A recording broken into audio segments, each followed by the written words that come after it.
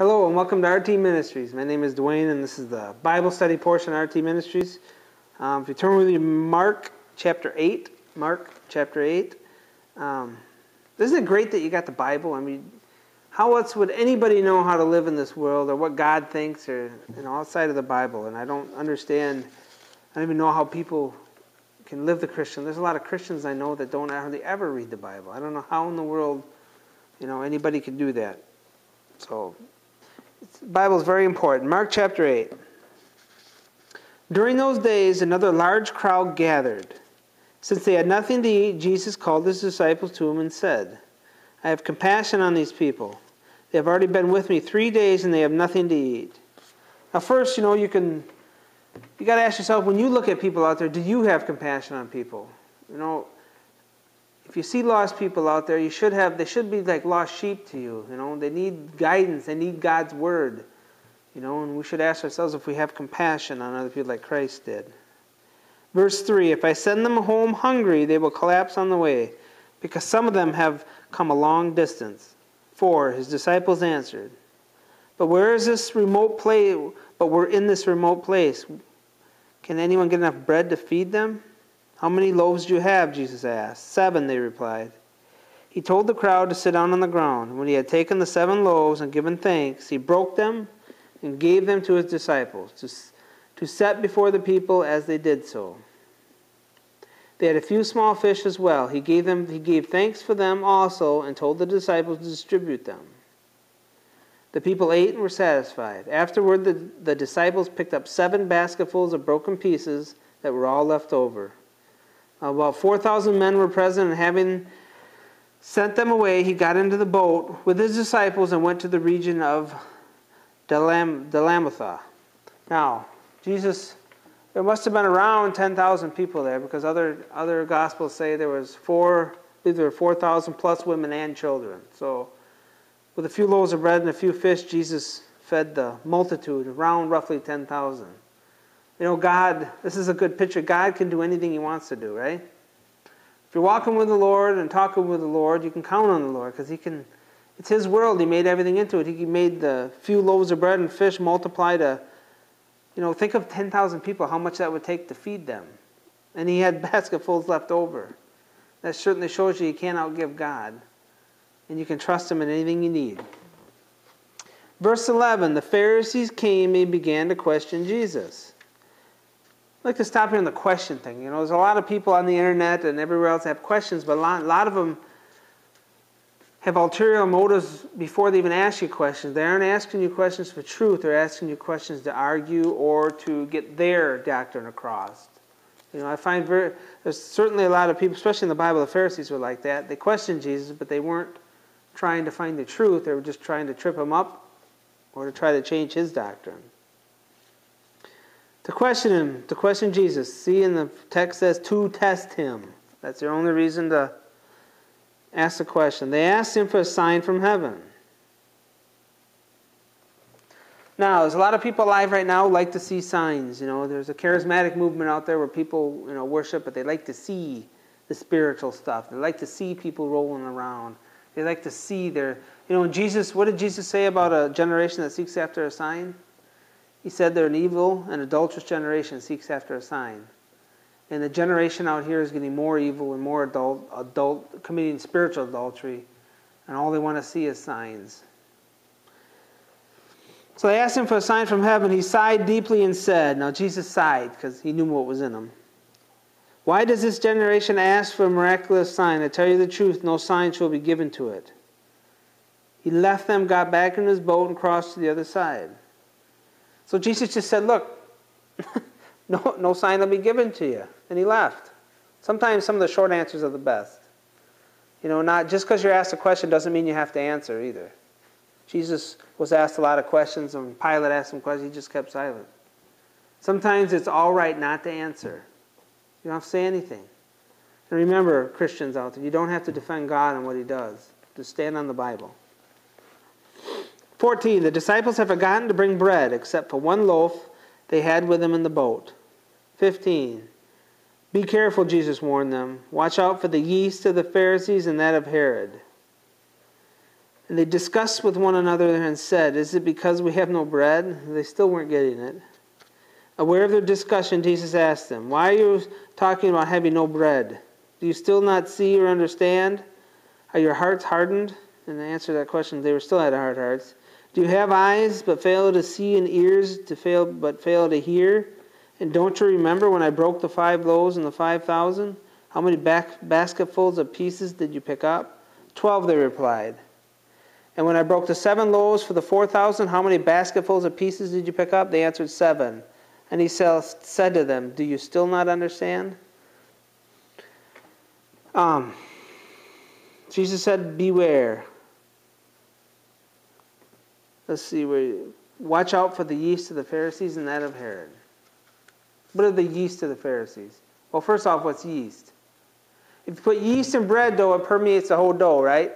You can't just add a little yeast and it just affect one little part of the dough. If you add a little bit of yeast, it's going to affect the whole dough. So he said, Watch out for the yeast of the Pharisees and that of Herod. You know, when false teachers or religious people are allowed into a church and allowed to, to get away with spreading false garbage in church, it spreads like yeast. It affects everybody. This is why church discipline is important. So Jesus just warned them, watch out for their teaching. And again, the modern church right now, oh my goodness, you got to watch out for teaching out there. There's a lot of bad teaching out there that sound good, but you got to know your Bible. If you know your Bible, you'll be able to sift through it all. So Jesus just warned them about their teaching. Watch out for the teaching. Verse 22. They came to Bethsaida, and some be- people brought a blind man and begged Jesus to touch him. He took the blind man by the hand and led him outside the village. When he had spit on the man's eyes and put his hands on him, Jesus asked, Do you see anything? He looked up and said, I see people. They look like trees walking around. Once more, Jesus put his hands on the man's eyes, and his eyes were opened. His sight was restored, and he saw everything clearly. Jesus sent him home, saying, Don't go into the village. Was it funny that Jesus spit in his eyes and then touched his eyes with his hands? Then Jesus put his hands on his eyes once and he said, I, I see things that look like trees. So he's just beginning to see. And Jesus put his hands back on him and he opened his eyes fully. Then he sent him home saying, Don't go into the village. You know, when Jesus did a miracle, he didn't, he did, he didn't proclaim it to everyone. He didn't want people following because of miracles. Quite the opposite of most of a lot of these miracle movements on TV. They want you to follow them because of their miracles. And that's quite the opposite of what Jesus did and taught. Verse 27 Jesus and his disciples went on to the villages around Caesarea Philippi. On the way, he asked them, Who do people say I am? This is a very, very, very important question. This is a very important question to you who are listening out there. Who do, who do you say Jesus Christ is? And anyone in this world. This is the most important question you'll ever answer. Who is Jesus Christ? They replied, Some say John the Baptist, others say Elijah, still others one of the prophets. So they were telling them there are some people around in that area saying, Look, he's, he's uh, John the Baptist, or they, they didn't quite know who he was. And Jesus narrowed it down. He said, What about you? He asked, Who do you say I am? So he looked right at Peter and said, Who do you say I am? Peter answered, I gave, he gave the answer here You are the Christ. You are the Christ. Uh, that's, a, that's, a, that's a real important question to answer yourself. You know, if he's the Christ to you, you are the Christ. You are the Christ. This is, this is the foundation of the whole Christian faith. And 30, Jesus warned him not to tell anyone about him. So Peter was given this from heaven that he is the Christ, the chosen one of God, the substitution for our sin. He is the, the uh, main concept. He is Christianity. You know, the whole Christian, Christian faith is, is uh, based on the death, burial, and resurrection of Jesus Christ and his power to forgive sins. So, again, it's important if you ask anybody out there, who is Jesus Christ? To a lot of them, he's nothing. But if he is the Christ to you, then praise God. 31. Then he began to teach them that the Son of Man must suffer many things and be rejected by the elders, chief priests, and teachers of the law, that he must be killed and after three days rise again. He spoke plainly about this, and Peter took him aside and began to rebuke him. Okay, now he's telling the disciples, look, I'm going to have my, he's telling them, I'm going to have to die. I'm going to be treated bad and I'm going to die. And he's going to be killed and three days rise again. And he spoke plainly to him, and Peter took him aside and began to rebuke him. Now he's telling Peter, look, I'm going to have to die. I'm going to be treated really bad. I'm going to, as soon as I die, I'm going to come back. But then Jesus said, no, no, no, no, I don't want you to die. Now, is that a bad thing to say to the Lord? Sounds kind of concerning for the Lord, right? No, Lord, I don't want you to die. But when Jesus turned and looked at his disciples, okay, now, first off, when, when Peter said this to him, he turned around and looked at all the other disciples before he looked at Peter. Because he, he, wanted, he, he wanted to see, what, you know, when you say something like that, there's other people listening. Anything you say about the Lord out there, there's other people listening. You know, your, your answers and your actions affect other people. He looked at his other disciples, he rebuked Peter. Out of, out of my sight, Satan, he said to him, you do not have the, in mind the things of God, but the things of men. All right, Jesus turned to Peter and said, Out of my sight, Satan, or get behind me, Satan, other translations say. Now, how did Peter turn into Satan there? Now, Peter was used as Satan's mouthpiece there. Now, Jesus could see that it was Satan talking behind Peter, but Peter thought he was talking on his own will. You know, and again, when Peter went to the Lord, not a bad thing to say, Lord, I don't want this to happen to you, but he didn't have the things of God in mind. You know. So he said, Out of my sight, Satan said, You do not have the you do not have in mind the things of God, but the things of men. So a true Christian would have the things of God on, on their mind, and obviously, you know, Peter at this time didn't have the things of God, he had the things of men on his mind, but you know, Satan used him as a mouthpiece. and He didn't even know he was being used as a mouthpiece. Important for us Christians to have the things of God on our mind, right? Things of God on our mind. I heard one guy tell me you could be too heavenly minded to be any earthly good. I don't think that's possible. I don't think you could be heavenly minded enough to be earthly good. You know, the more your mind's into heaven, the more your mind's into God, the better the better you can handle life and the better, you know, the more God will work through you here on this earth. And again, Peter had the things of men in mind. He just thought about Christ immediately, his immediate uh, welfare. He didn't. He wasn't looking ahead of all this. He didn't think about a plan of God. He didn't do anything. But Jesus had his mind on the things of God. 34. When he called the crowd to him along with his disciples, he said, "If anyone will come after me, okay, here it is. He must deny himself." Now that's a hard thing to do, isn't it? It's the opposite of selfish. You got to deny yourself. That means you got to stop in life doing what you want to do, and your goals have got to be pushed aside. And take up his cross. Now, on that day, the cross meant death. It meant nothing good in that day. It wasn't a little symbol you wore around your neck. It meant nothing good. So people knew when he said to take up your cross, it meant misery, death, pain, agony. It meant everything the opposite of what it means today. It was just a way people died and were tortured. So he said, Deny yourself, take up your cross, and then he said, Follow me. Wherever the Lord Jesus Christ wants to take you, if you're going to be his disciple, he said, I'll follow you wherever you go. So you got to be willing to deny yourself. I'm going to say this again because it's important. Deny yourself. Push, push aside all your life goals, your family, your job, everything.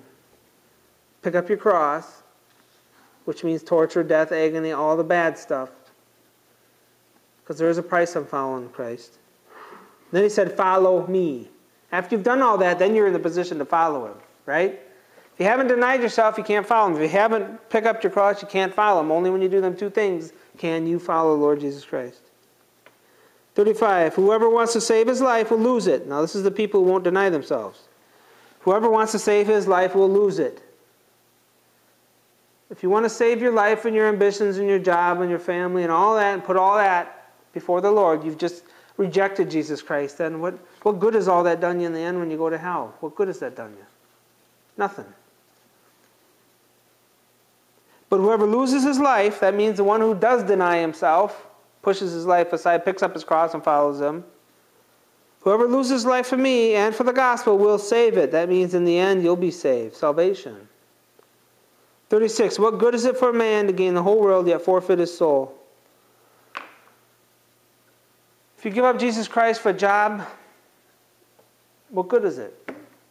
Eternally, you'll be in hell. What good has it done you? Or if you even have the whole world, if you have control of the whole world's money system, everything, you had everything. Sex, drugs, all this stuff. If you had all that stuff, what good is it if you give up your soul? Well, the answer, what good is it for a man to gain the whole world and yet forfeit his soul? Is no good. Remember, the next life is eternal. This life is very temporal 60, 70 years for most of us. Or what can a man give in exchange for his soul? It's a good question to ask people. What has man given in exchange for his soul? Well, drugs, selfishness, greediness, covetousness, money, sex, all that stuff people give up for their soul. Or they, you know, they take that and then give up their soul. What good is any of that if you've given up your soul? What can a man give in exchange for his soul? And there's a lot of people that exchange a lot of things for eternal damnation. You know, in the day, I've never, I've been at a lot of people's bedsides when they've died, and none of them have ever said, I wish I could, you know, I could, wish I could go back and do my job again over. I wish I could go back and whatever pursuits they they ran after in life, you know, most of them are miserable at the end. It's went by fast and they're scared because now they're dying and they know judgment's coming. And so, what can a man give in exchange for his soul? And the answer is a lot. People give up a lot. 38. If anyone is ashamed of me and my words in this adulterous and sinful generation, the Son of Man will be ashamed of him when he comes in his Father's glory with his holy angels.